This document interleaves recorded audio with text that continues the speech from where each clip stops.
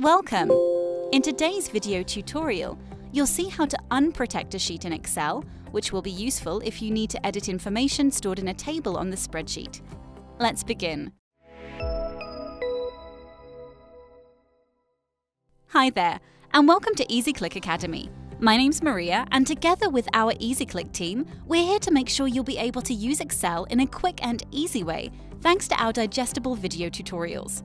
From time to time, we might need to edit information on a locked and protected spreadsheet. If that's the case now, we need to remove the spreadsheet protection so that we can make the necessary changes.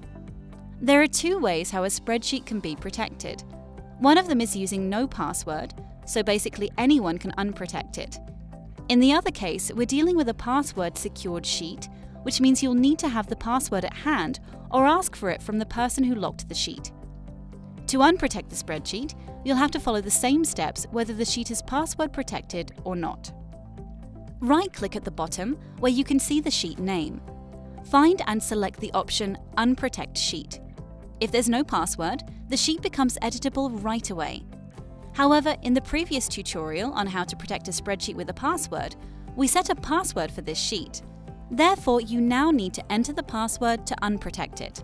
We'll type it in, and here we go.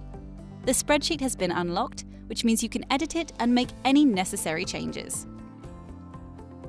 If you found this tutorial helpful, give us a like and watch other video tutorials by EasyClick Academy. Learn how to use Excel in a quick and easy way. Is this your first time on EasyClick? We'll be more than happy to welcome you in our online community.